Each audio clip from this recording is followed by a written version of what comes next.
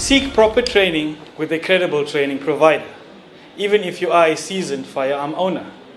These courses generally include the safe handling, the usage, the proper maintenance and storage of your firearm.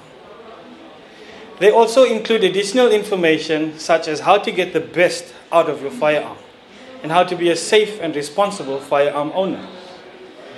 If you own a firearm for a long period of time, it is always necessary to do a follow up safety course just to refresh your memory.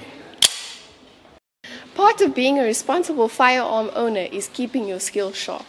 It's important to understand the mechanical characteristics and safety operations of the firearm that you have chosen.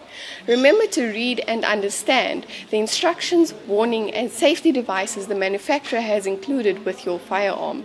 It is extremely important to know how to safely dismantle and clean your firearm to prevent any mechanical failures.